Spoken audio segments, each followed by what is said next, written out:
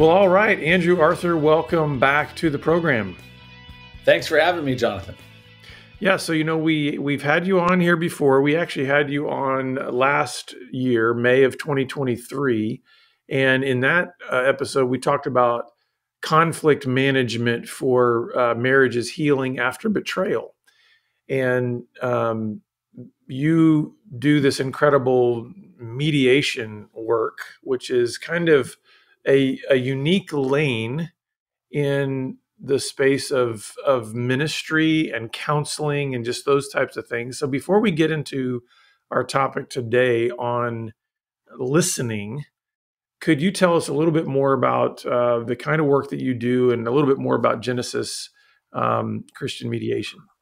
Yeah. So uh, my firm Genesis Christian Mediation, myself and my business partner uh, Brian uh, own the firm. We specialize really in two areas. That is in uh, church and, and nonprofit work, and then the family mediation work that which just brings me here to this podcast. And in that family mediation work, um, what I spend most of my time doing is trying to help people save relationships that are in crisis, whether that be inside of family with parents and their adult children or siblings, or more commonly in marriage relationships, right?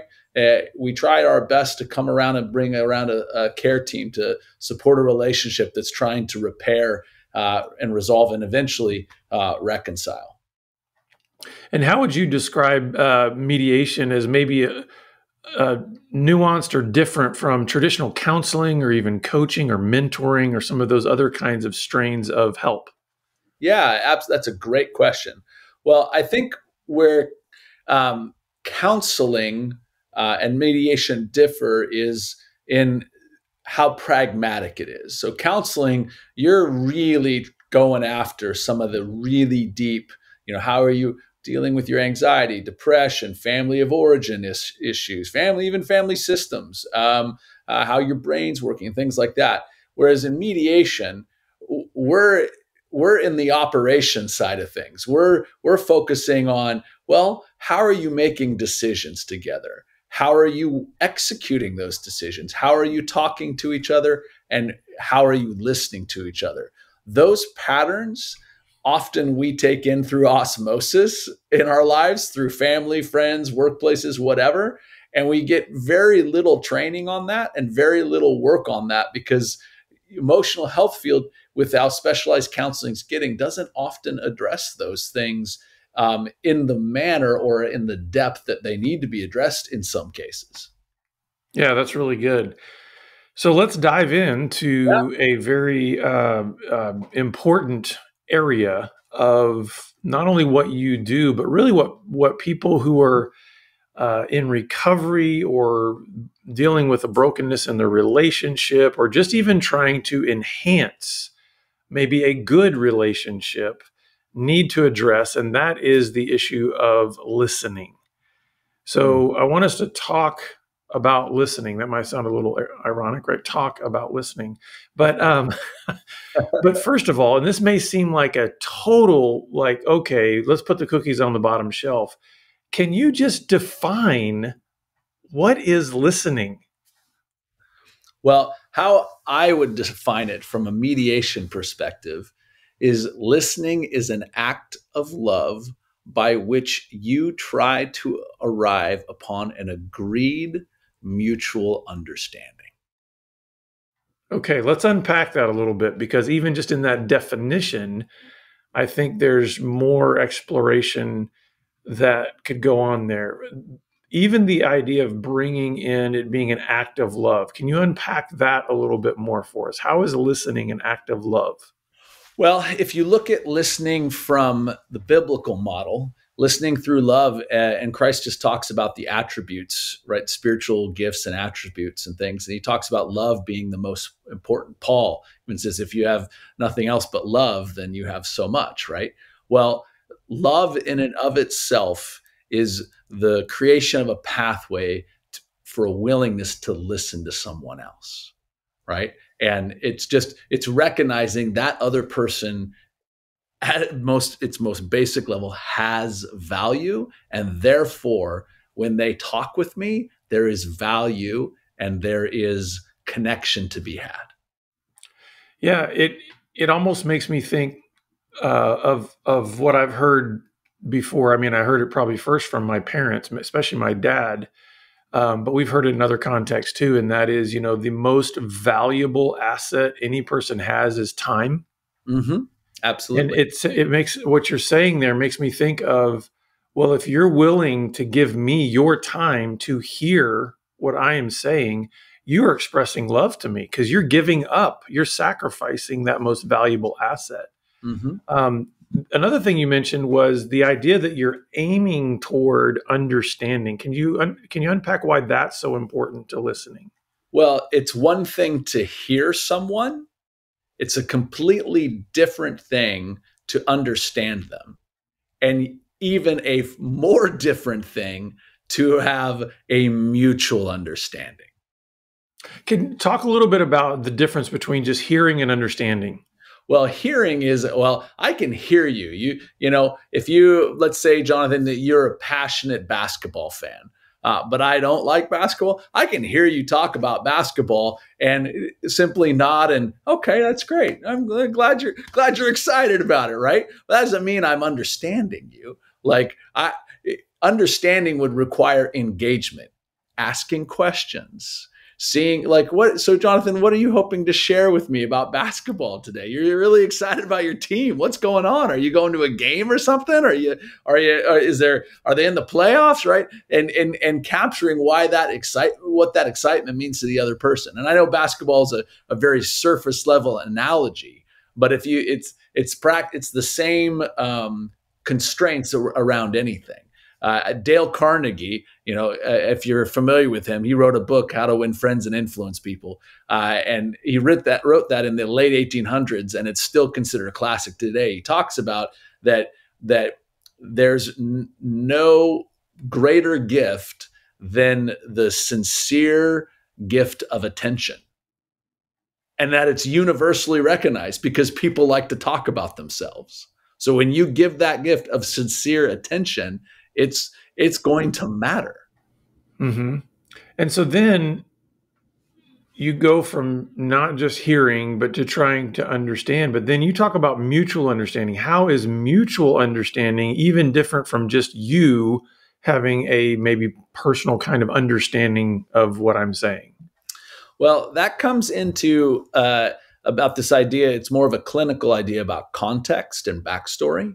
And just in this conversation, Jonathan, you and I, there are there are three different contexts going on. There's your context of this conversation, mine, and then there's a shared context, what we both remember and agree upon remembering from this exchange. So the fact that you can have three kind of context for every given conversation between two people, then that that tells me and tells us by science that there's something about the shared context that's important. Mm-hmm. And so then, how do you know if you have reached that mutual understanding in listening? Well, that's a great question and one that I think is a is a lifelong search, right? When you when you have the with the people that are around you closest that you love, right? And we talk about the ideal conversational pathway, and that starts with with listening, uh, and in the background of that self awareness, right? Because we're not going to listen well if we're not aware of what we're bringing into that conversation. Well, as we're listening, we're looking to ask questions that bring continual clarification, right? And as we gain more and more clarity, there's going to be a moment where we can say, I understand, right? I validate what you're saying. Mm-hmm. And then that person then and, and, some of the helpful tools of validating and and and helping someone know that you understand is is paraphrasing or reflecting back what you've heard them say. So that, yeah, yes, you get it. We've arrived. We have an understanding. There's a a modern listening expert that I follow a lot. His name's Oscar Trimboli. He's out of Australia, and he talks about this shift of idea in conversation. Because it used to be, if you've ever had training in corporate America or or uh, on communication, you've heard the phrase active listening. Well, mm-hmm. um, that active listening is awesome and it's a great place to start.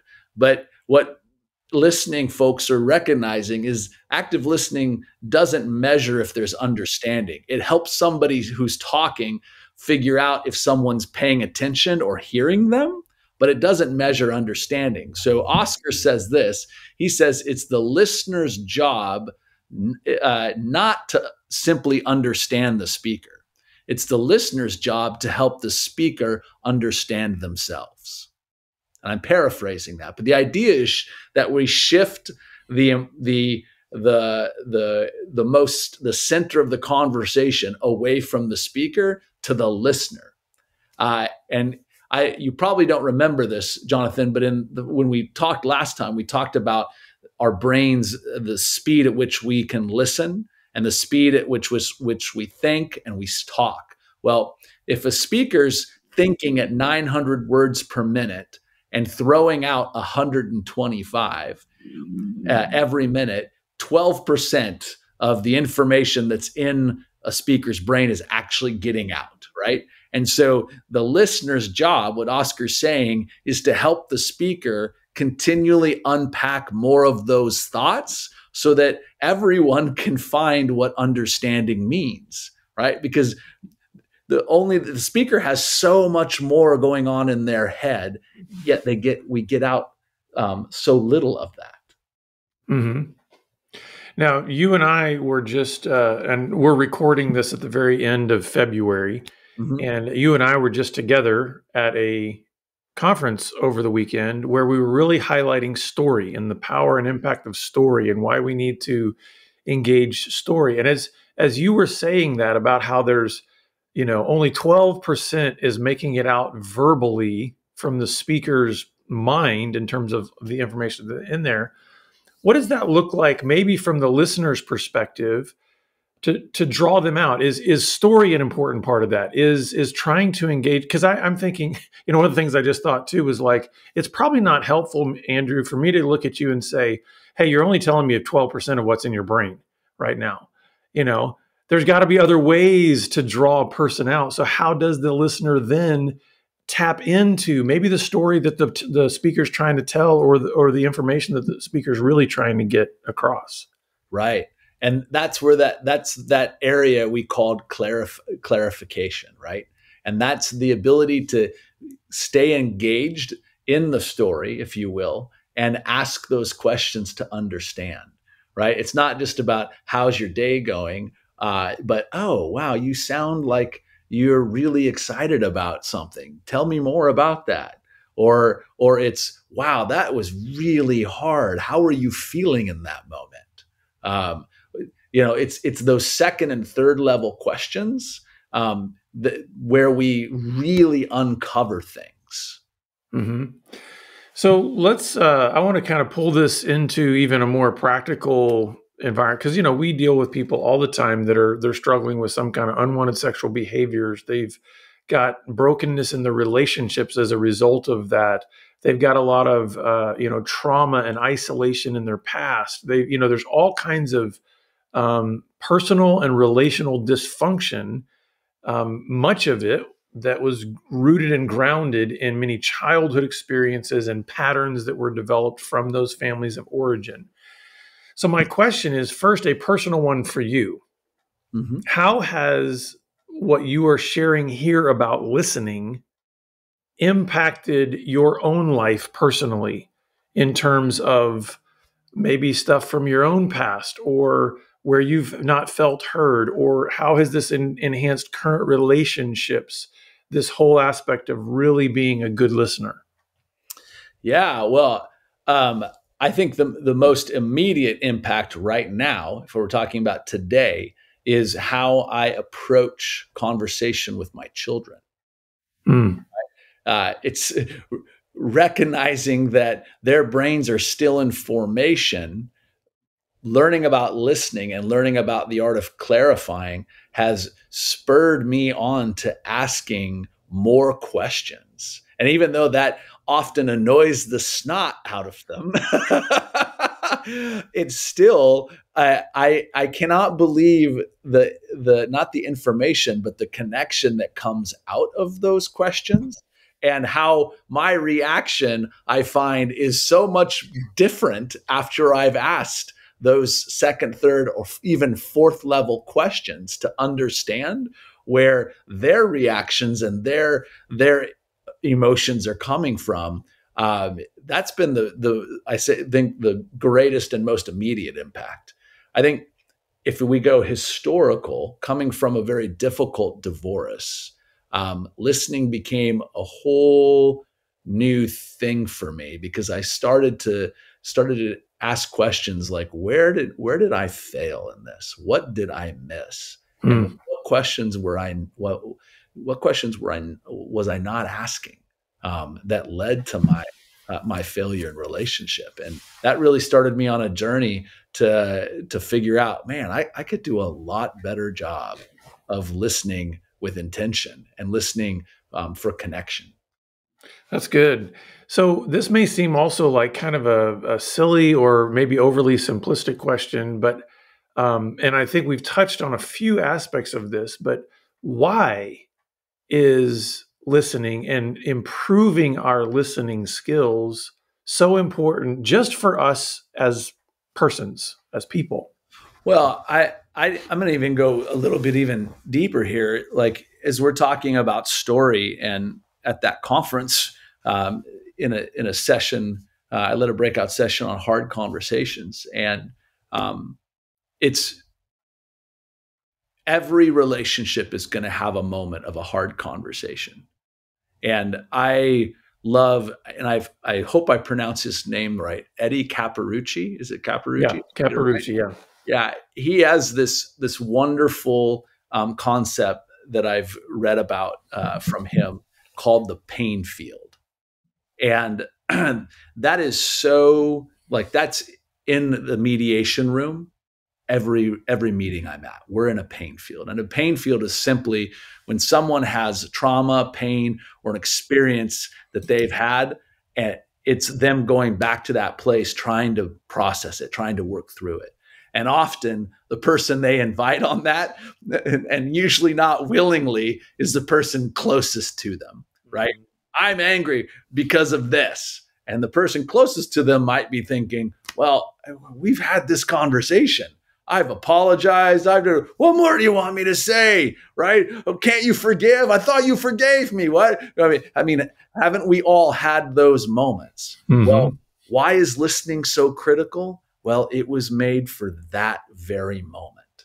What greater gift can we, as the person who's sitting with someone who is reliving their trauma or pain, what greater gift of love can we give than to listen and journey with them through it instead of instead of giving into that coping mechanism we might have of trying to flee that pain field because it's uncomfortable for us listening in that moment so critical what a gift of love and an opportunity for even greater connection and healing just by listening and being willing to ask questions that might be uncomfortable mm-hmm.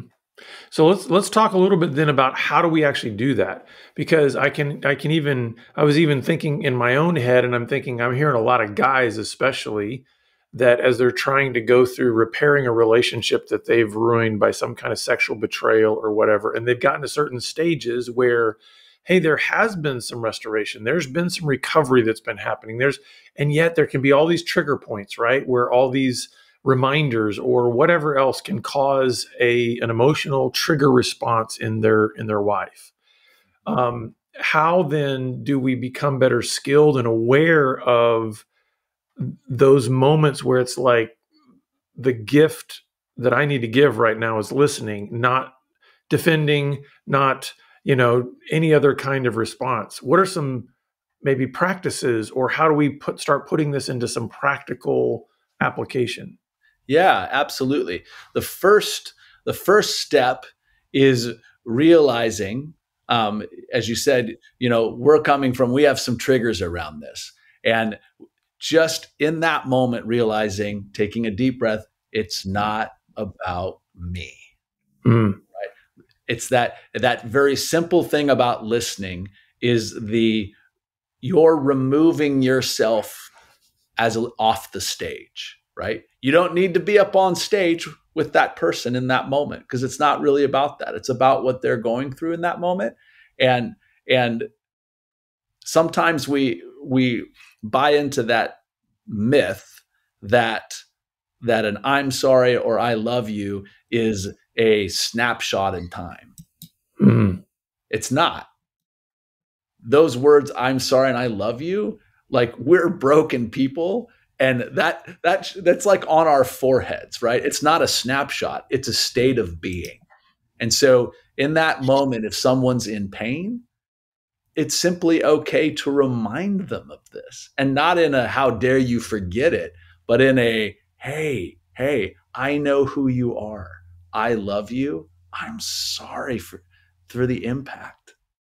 How can i how can i listen? What do you need from me right now? That's the second thing is asking the asking the question of support. What do you need right now? How do you want me to walk through with this with you? Right? Because sometimes they don't even know, and that and that's that's the hard part when you're with someone and they they may not know, but then it's the well, let me know when when you have when you have some thoughts. Mm-hmm right? Yeah, because some of this is it, we're talking about some typically very emotionally charged moments. Yep. And so I can even I'm even hearing some of the answers that have come back, uh, not not just in my own experience, but just in dealing with a lot of couples where okay, you know, asking the question, what do you need from me right now? And there's this, you know, this explosive response of, well, I need you to have never done this in ever, you know, and there's a sense in which there's a there can be a stuckness in the past and i get it those are pain points right all of that is part of the emotional triggers that are happening so how important is it for the listener in this case right now we're kind of giving the example of the husband being the listener and the wife is sharing her her pain how how can it how important is it for the the husband to kind of be going through over and over some of these things you've been saying. I mean, I'm imagining you got to revisit many times. Mm-hmm. Okay, this is not about me. Mm-hmm. I've got to enter into a supportive state. I need to be a reflective listener. How important is it for you to just kind of have to keep going through in your mind these things over and over again as a listener? I I think it's crucial, right? And it's crucial to be reminded of it. Uh, to put it this way, how often um, does your child say, I love you, hoping to hear back from their parent, I love you too, son. Mm-hmm. Love you too, sweetheart. Right? It's that reaffirmation that we all that's a that's a need a human need, right? And the pain field, that moment of crisis, we want we want to be uh, affirmed, right? And we want to have that reaffirmation.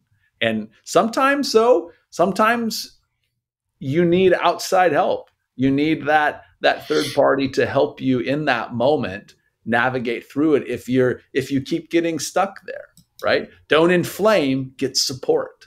Don't escalate get help. Yeah. So then um what are some of the most common roadblocks that you see for good listening? Yeah. Distraction number one primary barrier. Um, we listen at 400 words per minute and someone talks at 150.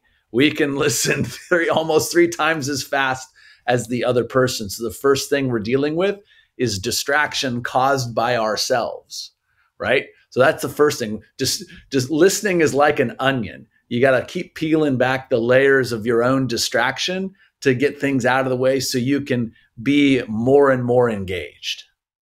Yeah. Any other any other roadblocks that you especially see in maybe even your own mediation? Yes. Number two, assumptions. Right. Uh, we we have so much backstory and so much water under bridges, even the most simplest things, that we bring a lot into these conversations of our own assessments, right? And so those assessments can lead to assumptions which cause us, which put up roadblocks to us actually listening effectively. Yeah, and I think that's one that uh, you know it's interesting uh, of the two that you've mentioned so far. That's the one that I think I see the most, especially in couples that have you know been married for a while and then boom this explosion of unknown secret sexual behaviors comes about is then even trying to work through that healing there's all kinds of assumptions that can be made on both sides about oh, each other so much um, that really do prevent any kind of true listening especially like you said listening for understanding. Right right. It's so critical and that that ties into another concept in the scriptures about listening and that's listening through grace right? There's a huge there's a self implication of that like awareness of grace in our own life that allows us then to apply it in greater measures to other people's lives. And that's so hard to listen with an unoffendable heart yeah. Are there any other roadblocks that you've seen to becoming a good listener? Um, yeah, I think um, the idea, the word, uh, the word, or maybe the phrase "better than thou," right? We mm-hmm. we have this inclination is in humanity to put the word supreme around things like i'm i'm i'm over right? I'm better than right? We want to rank things and that happens it's you know that's causes isms out there right. in the world and it causes disconnection. It's the moment that we we're objectifying somebody because we think that we're in a we're better whether that's because maybe we we haven't struggled with certain things or we haven't uh, experienced certain things that that we that we don't look at it the same. We don't have the same level of empathy or or understanding around it. It's that it's that i'm better than box and that's what's so profound even about the gospel and especially the incarnation right? Was that the, truly the only supreme one who could actually bear that title chose instead to humble himself and become like us in order that he could connect with us. And if you if you you know kind of put in these listening terms so that not only could could we sense that he's really hearing us in our pain but so we could really hear him right we can really listen to him that's another question i wanted to ask is um, you know, we've been talking about this listening as it applies primarily just between us as human beings, right? In various types of relationships. Can we talk a little bit? Can you talk a little bit about listening as it pertains us hearing from God? What does that look like to be a good listener in terms of hearing the Lord? Yeah, I I always come back to being quiet sometimes the greatest barrier to listening is just to quiet our own voice, whether that's in our head as we're listening to somewhere else or, or our mouth is moving. And it's the same way with God. We take up so much space with our own thoughts and our own words that we don't have room for His often. And I know that's true in my life, right? When I when I'm feeling disconnected spiritually, I have to ask myself, well, am I act, am I even listening? Mm-hmm. So as we are kind of landing the plane here, what are just some other thoughts that you would have that would help our um, our audience to be able to take the next step towards becoming a better listener? Well, I would I would say spend more time in conversation, right? And on a single topic. So if you're if you're stuck, we'll just throw this out there on dishes. Spend more than a minute talking about it, right? Because as we talked about, 12%, that's all the information you have in a minute, right? In, why not engage three or four and see what happens to your understanding of each other on that topic by spending more time talking about it? Uh, the second thing is um, um, I think um, choosing a good location to have hard conversations, right? Often speed gets in the way, right? We're reactive, we're, we're lots of life is going on, and so it's our inclination to move fast, and we have to resist that because speed is isn't critical there's so many things in converse so many things in life that aren't time bound or aren't urgent but we treat them as if they are mm-hmm. so slowing down is so critical slowing down and giving space for listening and for relationship.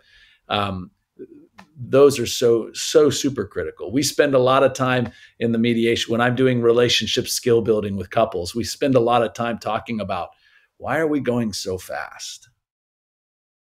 Yeah, that's really good. Um, this has been a great conversation. Now, I can imagine that a lot of our, our listeners and viewers, the only thing they're thinking of right now is like, okay, is dishes the issue in your home right now? I mean, is that the is that the the primary uh, point of conflict that you're having in your relationships at home, Andrew? Probably not, but it, it's it's a safe one. Yeah, it is. Yeah, it is. Uh, that's good. Well, um, where can where can our listeners and viewers go to learn more about what you do? Um, easy. Go to our website uh, genesischristianmediation.com and contact us. Um, uh, we're happy to sit down and have a conversation with anyone uh, just to hear how we might be able to support or encourage you or or get resources to you.